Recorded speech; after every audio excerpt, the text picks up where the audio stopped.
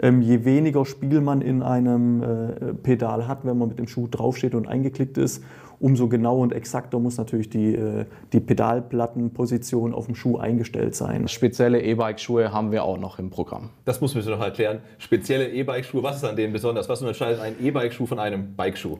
Die Frage äh, ja, bekommen wir tatsächlich sehr, sehr oft ge ähm, gestellt.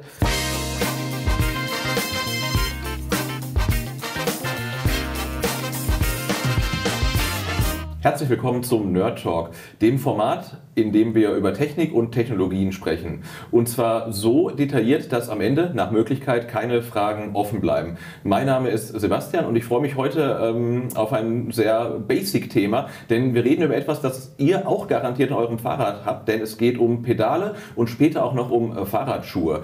Und das klingt auf den ersten Blick vielleicht etwas banal, aber das Thema ist sehr facettenreich und deswegen habe ich neben mir jemanden sitzen, der uns jetzt quasi in die Welt der Pedale entführt. Herzlich willkommen, Philipp. Ja, hallo Sebastian. Philipp, du hast vor dir schon wahnsinnig viele Pedale ausgebreitet ähm, und man sieht schon, äh, dass es da viel zu besprechen gibt. Ähm, aber sag mir doch erstmal, warum sind Pedale denn überhaupt so wichtig? Na gut, Pedale sind ähnlich wichtig wie der Reifen oder Lenker am Fahrrad. Ohne äh, diese Bauteile kann ein Fahrrad nicht äh, gefahren werden.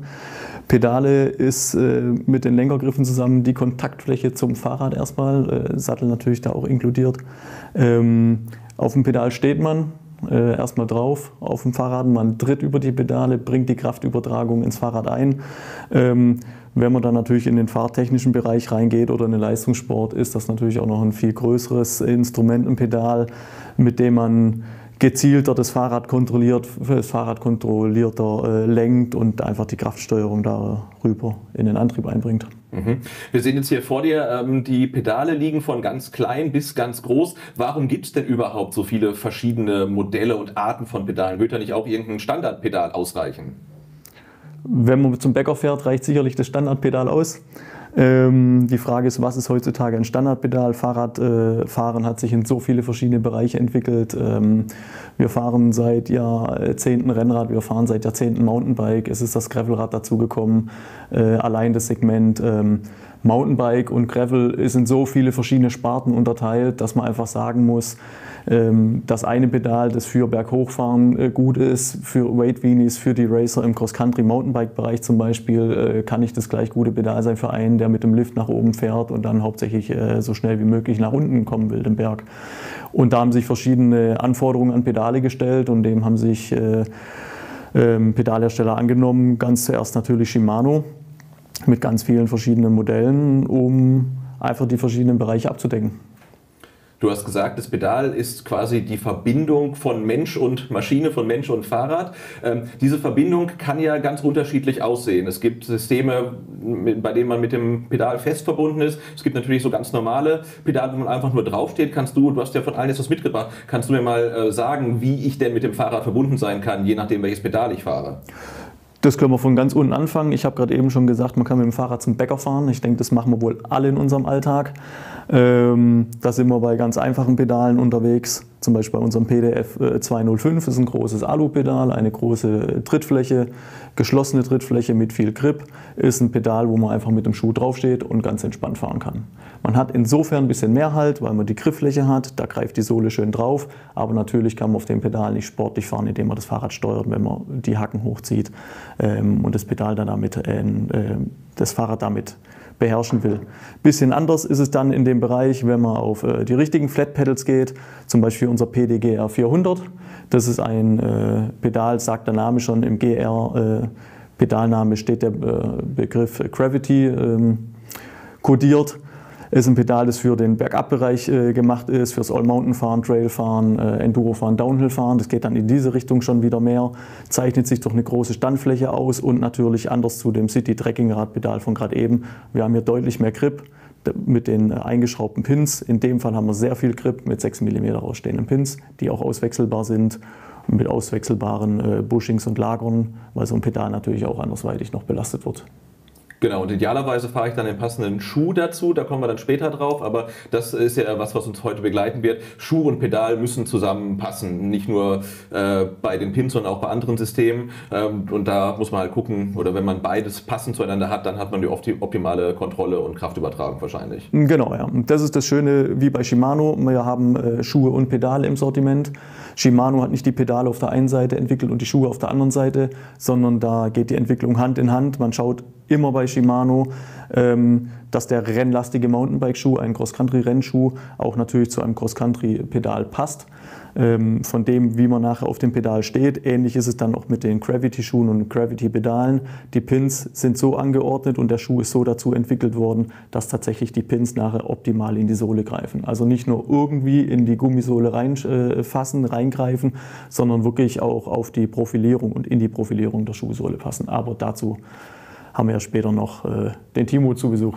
Genau, der wird uns dann alles über Schuhe er erklären. Und ähm, vielleicht darf das noch kurz sagen, man muss, man muss natürlich keine Shimano-Schuhe haben, um mit Shimano-Pedalen fahren zu können. Du hast eben das ganz normale Standard-Flat-Pedal gezeigt. Also da kann man ja mit jedem Schuh drauf und rutscht nicht ab. Da kann man auch mit Flipflops drauf oder mit Gummistiefeln. Also das muss nicht sein. Aber wenn man halt äh, ein bisschen mehr rausholen möchte, dann äh, sollte man auf die Kombination natürlich setzen. Genau, richtig. Das gibt die optimale Kombination, wenn man von dem Pedalhersteller Shimano die Shimano-Schuhe fährt geht ja auch so weit, äh, dass es nicht nur den Flat-Pedal-Bereich, den Gravity-Bereich gibt. Ähm, ganz blöd gesagt, wenn man jetzt ein äh, SPDSL Road-Pedal von uns hat und man fährt einen Mountainbike-Schuh, das wird zum Beispiel einfach nicht funktionieren. Man hat ein sehr hochwertiges äh, Straßenpedal, man hat einen sehr hochwertigen Rennschuh. Das wird nicht zueinander passen, weil die Verbindung halt nicht passt, weil wir unterschiedliche Klicksysteme haben. Ähm, und da sind wir ja auch bei dem Punkt, fahre ich Straße, brauche ich wieder ganz andere Pedale, wie zum Beispiel im Gelände, was wir gerade eben gesagt haben, im Gravity-Bereich, im Cross-Country-Bereich oder im Gravel-Bereich. Das könntest du mir jetzt hier mal zeigen, wenn du es gerade schon in der Hand hast. Die verschiedenen äh, Cleats heißen die, die dann quasi das Pedal mit dem Schuh verbinden. Denn da gibt es ähm, SPD SL, das ist dann äh, Rennradbereich, und es gibt ähm, SPD, das sind dann die etwas kleineren Schuhplatten. Genau. Eingebürgert hat sich das so, ähm, dass das SPD-Pedal, also der SPD-Klicker, Schuhplatte, Glied, man hat da sehr viele Bezeichnungen für gefunden über die Jahre, sind diese kleinen Metallblättchen, die man sich dann unten an die äh, Schuhe schraubt, mit zwei Schrauben befestigt, meistens an Schuhen dran mit profilierter Sohle, weil sie eben im Geländeeinsatz oder im Alltagsbereich äh, zur, äh, zum Tragen kommen, wo man mit dem Schuh auch mal laufen muss, wo man äh, mit dem Schuh unterwegs ist und dann auch nicht nur auf ebenem Untergrund und deswegen auf geländegängiger Sohle. Die kleinen Klicker, sehr haltbar, sehr äh, festes Material und die sind dann immer in der Kombination eben mit den SPD. Ähm, Klicksystemen, wie wir es jetzt hier sehen, im Außen Mountainbike-Bereich beim PDM 9120 XDR Trail-Pedal, hat man den großen Metallkäfig, wo dann nachher die Pedalplatten eingeklickt werden. Einmal das. Dann haben wir die deutlich größeren Pedalplatten aus dem äh, Road-Bereich für die Rennradpedale. Das wäre das SMSH 11, das ist das Standard, der Standardklicker für die Stra im Straßenbereich mit der gelben Markierung 6 Grad Spiel im Pedal. Da kommt man dann auf jeden Fall jeder mit zurecht, schön eingestellt, hat man noch ein bisschen Bewegungsfreiheit, damit man nicht ganz starr auf dem Pedal sitzt. Es gibt aber auch die Varianten mit der blauen Markierung und der roten Markierung, SMSH 12 und SMSH 10 ähm, mit 2% Spiel oder mit 0% äh, Grad Spiel, nicht Prozent, sondern Grad im Pedal Bewegungsfreiheit, je nachdem, ob man halt doch ein bisschen fester stehen will als auf der gelben äh, Pedalplatte oder richtig fest mit der roten Pedalplatte. Das heißt, das Gelbe ist dann so für Einsteiger vielleicht, die äh, auf das System auch wechseln, erstmal äh, vielleicht dann besser zu benutzen als so die, die rote ähm, Platten, die dann halt wirklich sehr, sehr wenig Spiel bieten. So kann man das sicherlich ja, verallgemeinert sagen. Ich glaube tatsächlich, ähm, die Zahlen auf dem Markt zeigen, dass das Gel die gelbe Pedalplatte ist die Nummer eins mit mhm. Abstand. Ähm, je weniger Spiel man in einem äh, Pedal hat, wenn man mit dem Schuh draufsteht und eingeklickt ist, umso genauer und exakter muss natürlich die, äh, die Pedalplattenposition auf dem Schuh eingestellt sein, was natürlich mit, äh, mit sehr viel Erfahrung einhergeht oder man lässt sich äh, in die Richtung einfach beraten über ein Bikefitting, über ein Pedalgliedeinstellungen, was auch dann immer über meinen Bikefitter passiert. Ähm, das dann wirklich ich würde wirklich sagen, 0 Grad Bewegungsfreiheit ist schon wirklich was für äh, Experten auf dem Fahrrad, für Profis, die das seit sehr vielen Jahren machen und die wirklich wissen, wie muss die Pedalplatte stehen. Alle anderen sind wirklich bei Blau und Gelb da deutlich besser aufgehoben. Mhm. Genau, und ähm, das kann man auch sagen, mit den ähm, SPD-SL-Schuhplatten lässt sich tatsächlich relativ schlecht laufen, weil ja auch die Rennradschuhe dann meistens eine sehr steife Sohle haben und man sieht es ja immer, äh, wenn man halt irgendwo sitzt und da kommt eine Rennradgruppe bei einer Ausfahrt und ähm, starksten dann in die Eisdiele rein. Also äh, wenn man auch äh, ein paar Meter zu Fuß ähm, bewältigen will, dann geht das, aber wenn es mehr ist und man auch einfach längere Strecken läuft, äh, dann taugt das wirklich äh, relativ wenig. Genau. Es ist ja so, wir nehmen jetzt einfach meine Hand als Schuh, die Pedalplatte beim, oder die Schuhsohle beim Rennradschuh ist glatt. Die Pedalplatte sitzt quasi wirklich außen auf und man wälzt beim Laufen immer über die Pedalplatte drüber, führt beim Laufen auch zu einem deutlich höheren Verschleiß der Pedalplatte und es ist ein Rennschuh, der ist wirklich dafür gemacht, quasi aus dem Auto auszusteigen, das Fahrrad vom Dachträger zu nehmen, aufs Fahrrad draufzusetzen oder eben aus der Wohnung, aus dem Haus raus, aufs Fahrrad, man fährt seine Runde, kommt wieder, zwischendurch bei der Eisdiele die paar Meter zum Ausschank äh, funktioniert es sicherlich ganz gut. Dafür ist die äh, Pedalplatte, die macht das auch mit. Das ist nicht das Problem, aber man sollte jetzt äh, tatsächlich vermeiden, irgendwie in den Wald reinzufahren, dann doch zu merken, äh, die Straße hat sich in einen Trail verwandelt und ich muss jetzt irgendwelche Felsen hoch und runter tragen. Dafür sind dann die äh, Rotpedalplatten, tatsächlich SPD-SL-Platten, nicht mehr gemacht. Dafür, wie gesagt, gibt es die Mountainbike-Systeme mit den SPD-Platten die ja dann auch in der Sohle verschwinden, wirklich im, im in der profilierten Sohle verschwinden. Ähm, man hört die SPD-Platten im Normalfall beim Laufen auch nicht. Genau, wenn man die SPD-Platten irgendwann beim Laufen wirklich ganz deutlich hört und man merkt, man läuft mit dem Schuh auf der Pedalplatte, dann ist der Schuh meistens schon deutlich älter und die Sohle ist dann auch mhm. irgendwann mal abgelaufen. Genau, und damit verschleißt dann auch die Pedalplatte irgendwann hier deutlich, deutlich schneller. Viele ähm, haben ja ein bisschen äh, Sorge und Befürchtungen, wenn sie wechseln von einem Flat Pedal auf ein Klicksystem, äh, dass man sich nicht rechtzeitig ausklicken kann, wenn man zum Stehen kommt. Ist auch jedem schon passiert ähm, oder fast jedem. Ähm, aber man kann natürlich auch die Spannung, mit der die Schuhplatte ähm, in dem Pedal feststeckt, quasi, kann man einstellen und auch die Auslösekraft, die man benötigt, um rauszukommen. Gott sei Dank ja. Aber du hast es schon gesagt, äh, der Umstieg ist am Anfang immer ein bisschen spannend. Ich glaube, das ist eine der absoluten Klassikergeschichten beim, im Fahrradbereich, ob das dann Rennsport ist oder das legere äh, Dahinrollen und Tourenfahren. Ähm, der Klassiker Einstieg, klassische Einstieg ist wirklich das Flat Pedal. Da fängt jeder drauf an, das Fahrrad zu fahren, als Kind oder später, wenn das Fahrrad einfach mit so einem Pedal ausgeliefert wird. Ähm, das Neurad, wenn es aus der Garage das erste Mal geschoben wird. Irgendwann fährt man ein bisschen mehr, man fährt ein bisschen sportlicher. Man merkt gerne mal über die Zeit, ich brauche irgendwie mehr Verbindung zu meinem Fahrrad. Ob dann der Gedanke dahinter ist, eine Bestzeit berghoch äh, erholen zu wollen, die Bestzeit bergunter oder wirklich dieser äh, fahrtechnische Aspekt oder wirklich einfach nur mal sagt, ich hätte gern die Verbindung zum Rad mehr, ist erstmal komplett egal. Bei sehr, sehr vielen Leuten, die regelmäßig Fahrrad fahren, entsteht irgendwann dieses äh, Bedürfnis, ich brauche mehr Kontakt, ich brauche mehr Halt äh, auf meinem Fahrrad und dann kommt das Klickpedal ins Spiel. Und natürlich ist es so, es ist eine feste Verbindung. Ähm, man sitzt mit dem Schuh und der Pedalplatte eingeklickt im Pedal und wie gerade eben schon erwähnt, es ist die Klassikergeschichte, man fährt, man hält an der ersten Ampel an, man ist natürlich in dem Modus drin, ich kann jederzeit den Fuß einfach vom Pedal nehmen. Das funktioniert dann so einfach nicht. Und äh, jeder kennt es, dann kippt halt einer aus der Gruppe mal um oder man kann sich dann noch irgendwie am Geländer oder an der Ampel festhalten. Passiert ist nicht schlimm, das hat jeder mitgemacht. Ich glaube, da können auch die ganz großen Rennfahrer von äh, berichten. Es gibt aber auch da die Möglichkeit, dem ein bisschen entgegenzuwirken und äh, einfach in der Anfangszeit, wenn man auf Klickpedale umgestiegen ist, sich da den Einstieg und vor allem den Ausstieg einfacher zu machen. Man hat bei den SPD und bei den SPD-SL-Pedalen immer die Einstellschraube im hinteren Bereich, über die man quasi die Federvorspannung vom Klickmechanismus stärker macht oder weniger stark macht. Und damit äh, ist der Einstieg und der Ausstieg dann deutlich einfacher gegeben.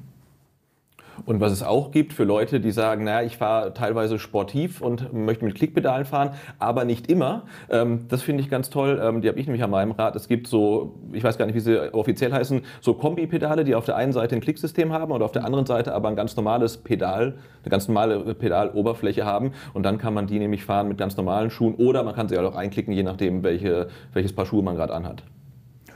Genau.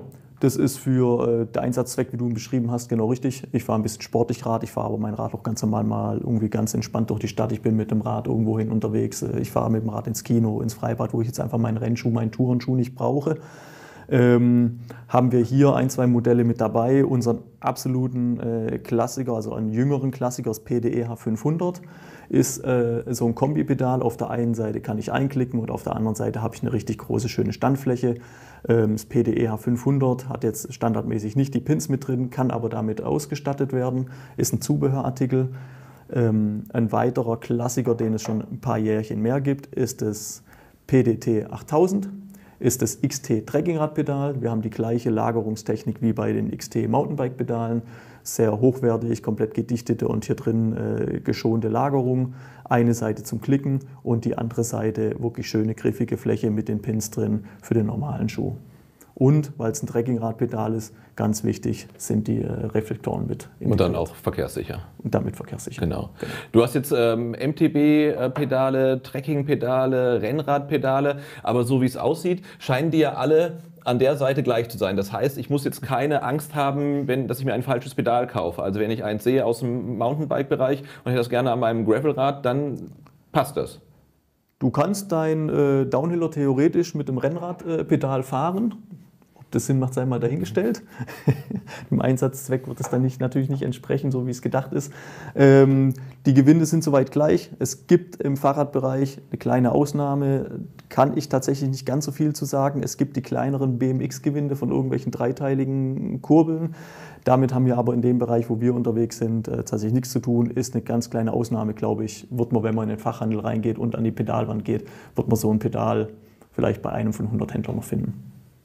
Okay, das heißt also, ich kann mich auch aus anderen Kategorien bedienen, wenn mir das Pedal gefällt. Was wir natürlich eben schon angesprochen haben, der Schuh muss natürlich zum Pedal passen, also egal welches ich nehme, da sind wir dann wieder beim Thema Schuhe, ähm, da muss das System äh, dann natürlich passen. Wenn ich jetzt gerade noch die, die Rennradpedale sehe, ähm, die sehen ja sich relativ ähnlich. Wenn ich dann aber gucke, was Rennradpedale von Shimano kosten, gibt es da eine sehr, sehr große Preisspanne. Ob ich mich jetzt äh, beim 105er Pedal bediene oder doch eins aus der äh, Dura-Ace-Serie nehmen möchte. Wie gesagt, optisch relativ ähnlich.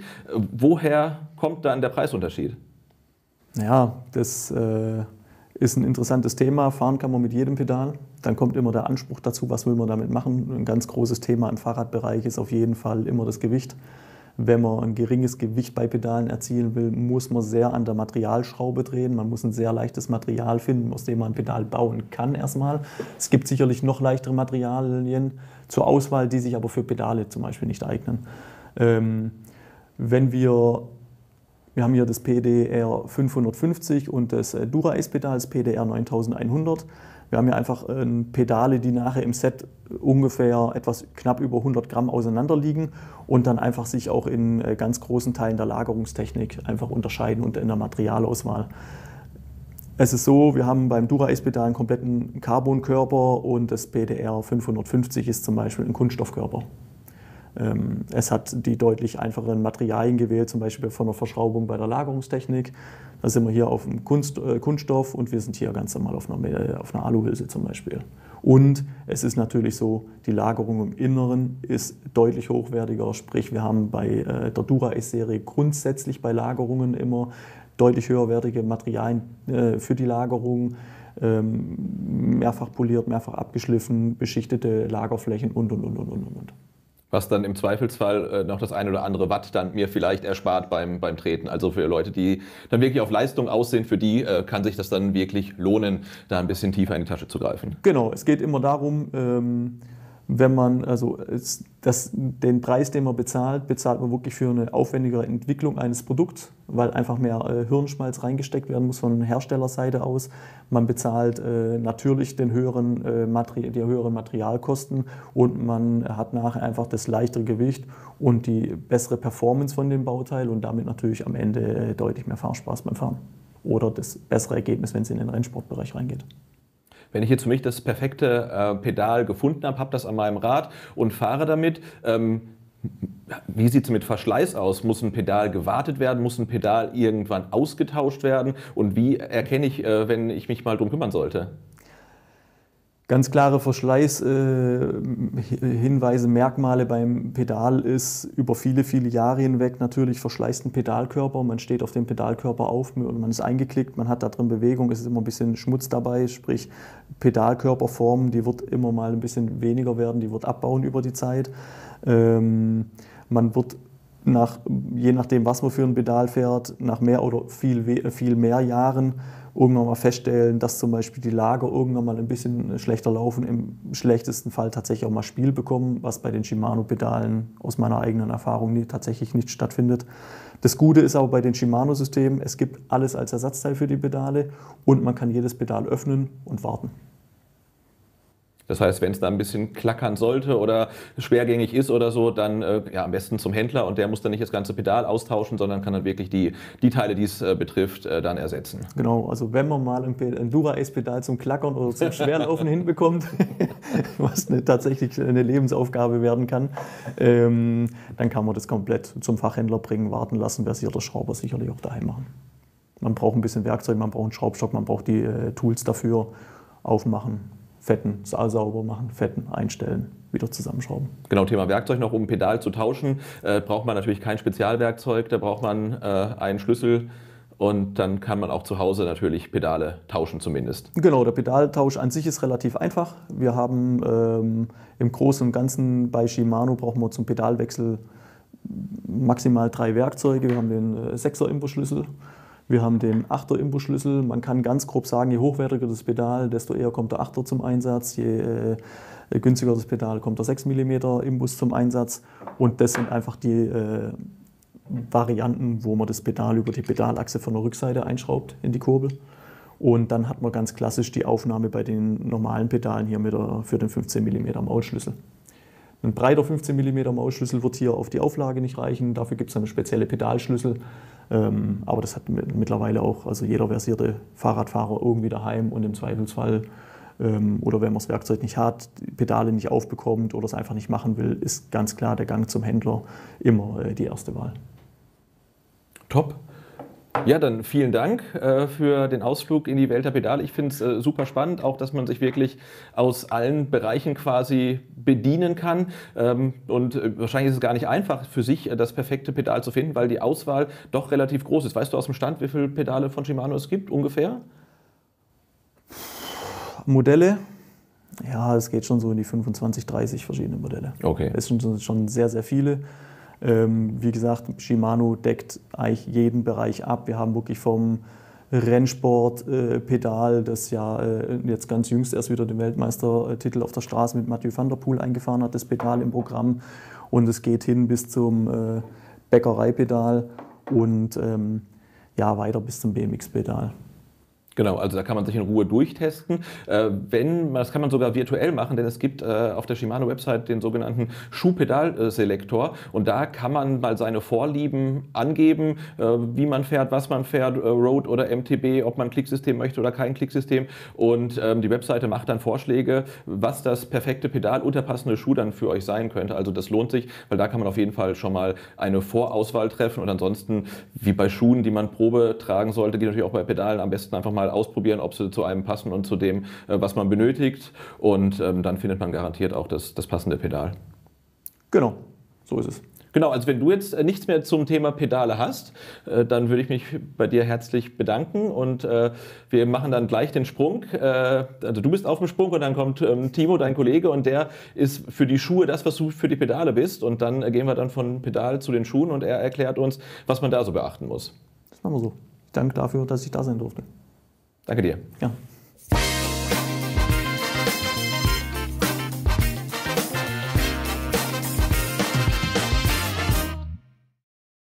So, jetzt haben wir vom Philipp alles erfahren, was die Pedale angeht. Jetzt wird es Zeit weiterzugehen, nämlich zu den Schuhen. Deswegen haben wir jetzt ein bisschen umgeräumt. Die Pedale sind weg vom Tisch und dafür stehen jetzt drei ganz verschiedene Fahrradschuhe hier auf dem Tisch. Und neben mir sitzt der Timo bei uns im Haus zuständig für die Schuhe. Hallo Timo. Hi Sebastian, grüß dich. Cool, dass du da bist, äh, denn ich bin jetzt wirklich sehr gespannt. Schuhe klingt für mich erstmal nach einem etwas drögen Thema, ist es aber gar nicht. Denn wir sehen es hier schon auf dem Tisch. Äh, die Schuhe sind komplett verschieden und du führst uns jetzt mal durch die verschiedenen Kategorien wie Road, wie MTB, wie auch Gravel und Lifestyle und zeigst uns aber auch die verschiedenen Technologien an den Schuhen. Genau. Wie du jetzt gerade äh, schon gesagt hast, äh, ja, haben wir bei den Schuhen äh, ganz arg viele Kategorien. Du hast äh, jetzt äh, angesprochen gehabt Road, MTB und äh, wir haben aber auch Gravel-Schuhe in unserem Line-Up. Ähm, dann spezielle Touring-Schuhe und auch E-Bike-Schuhe. Also das Portfolio ist bunt gemischt bei uns und für jede Nische haben wir auch den passenden Schuh dann dazu.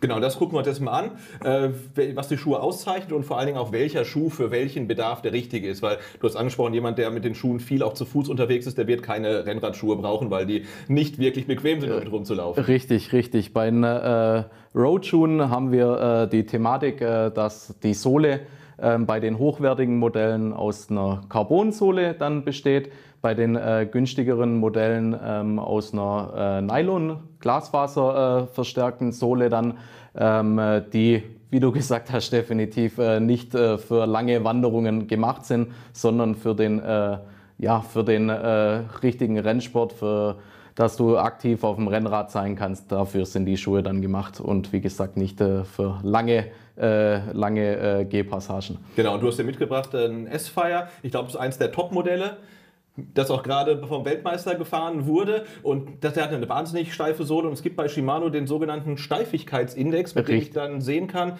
wie steif diese Sohle wirklich ist. Korrekt, ja. Der äh, Top-Schuh hat dann auch, äh, wie du schon gesagt hast, äh, den ähm, äh, höchsten äh, Steifigkeitswert in unserer äh, Tabelle, was die Steifigkeit aussagt ähm, und ist eine voll durchgängige Carbonsohle, die ähm, ja, die höchstmögliche äh, Steifigkeit dann anbietet. Genau, also abrollen oder so ist mit dem dann nicht Nein. mehr möglich. Also der will wirklich auf dem Rad gefahren werden und sonst eigentlich gar keinen Bodenkontakt Korrekt. haben. Ne? Ähm, sag mal was zum Verschluss von den Roadschuhen, weil das ist ja äh, was, was man nicht nur im Road-Bereich findet. Man sieht zum Beispiel auch hier, das ist der, der Boa-Verschluss. Korrekt.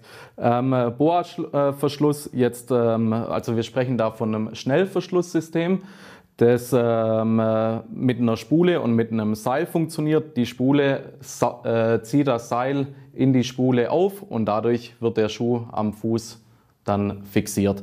Wir haben beim Topmodell ähm, äh, den Boa zwei äh, Spulen verbaut und ähm, die Spule erlaubt auch in beide äh, Richtungen zu justieren. Das ist bei der günstigen, günstigeren Varianten sind es ähm, dann andere Boas. Da ist es nicht möglich. Beim Topmodell ist es möglich. Aber es ist für jeden Fahrertyp dann etwas mit im Portfolio dabei.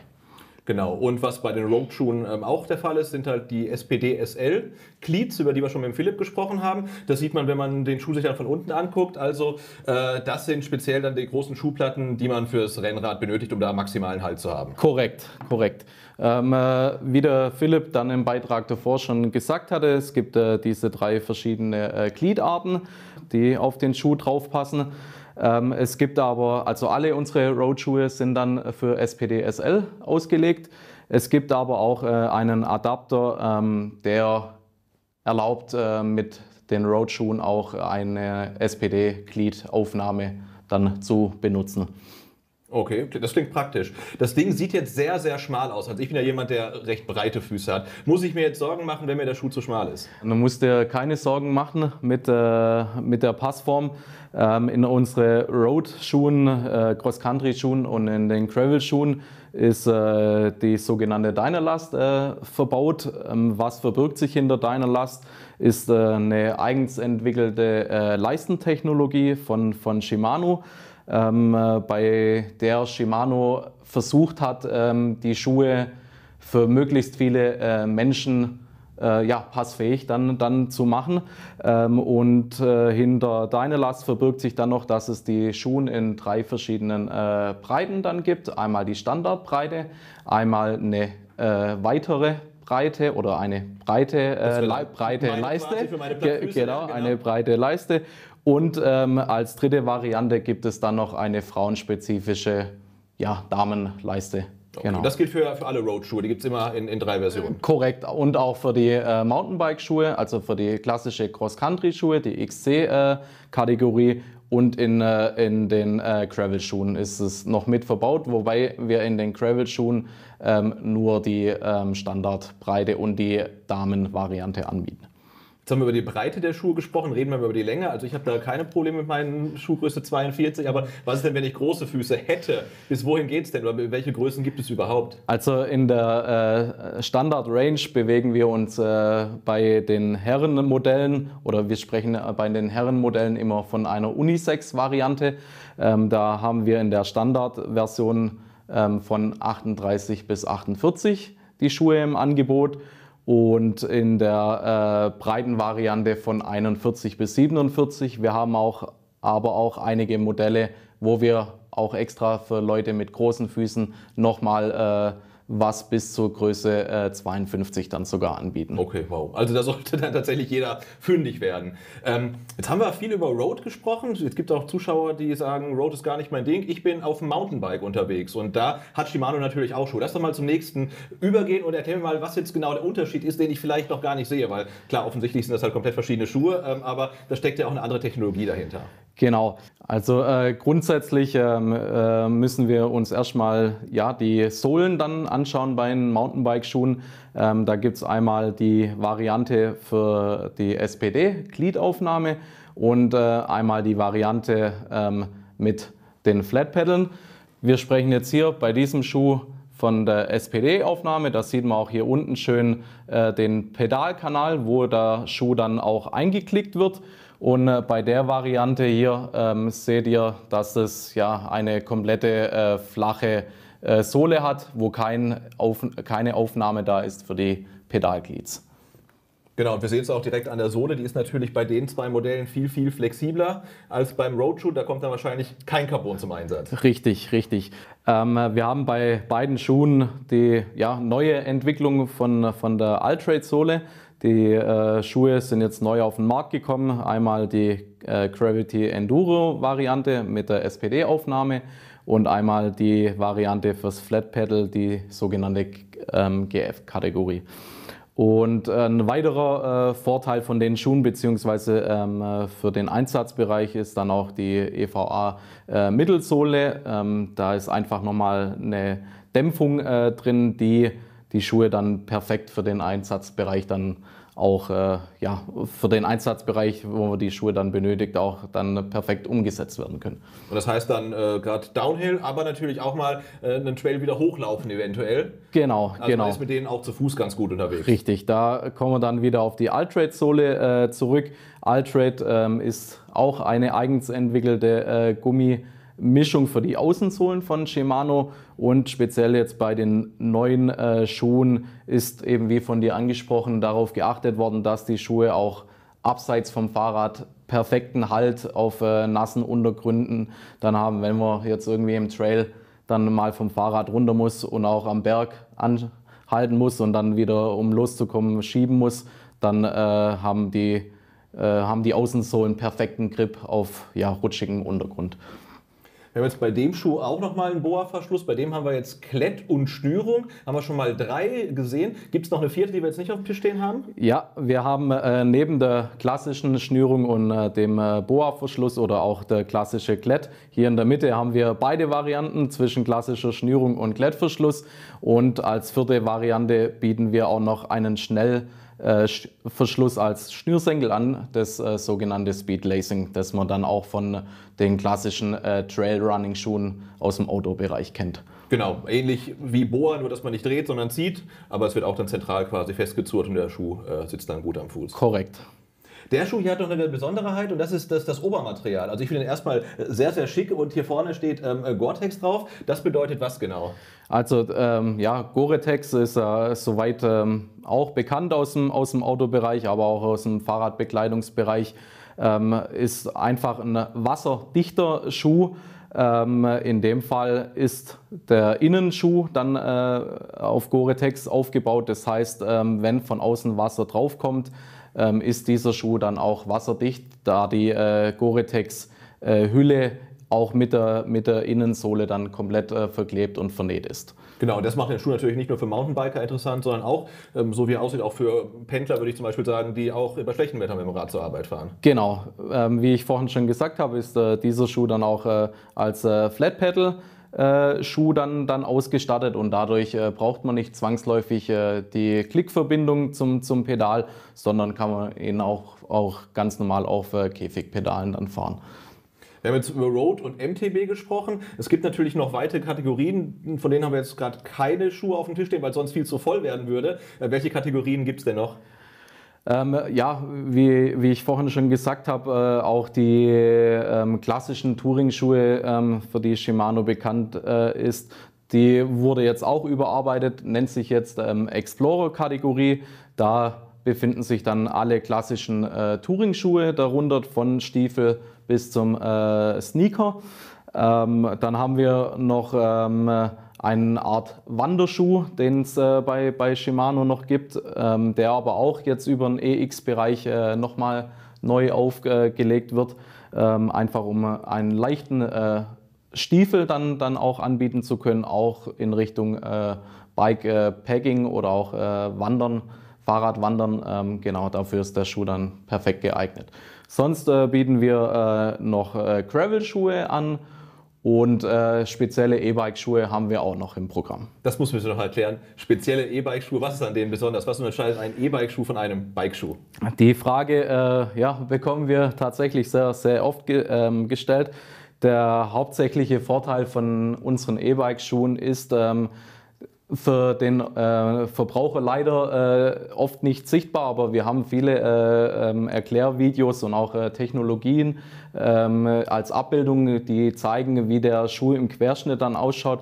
Ähm, in dem Schuh ist äh, eine die sogenannte äh, Power Transfer Blade dann verbaut. Es ist eine Zwischensohle, ähm, die verhindert, dass die Achillessehne nach hinten abknickt, wie es eventuell bei einem klassischen äh, Laufschuh passieren könnte, äh, wenn man den zum Fahrradfahren anzieht.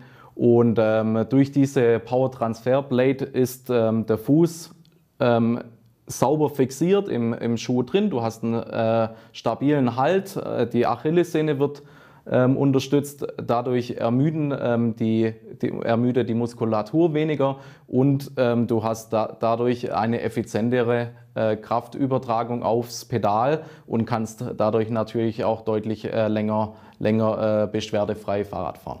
Okay, das klingt plausibel.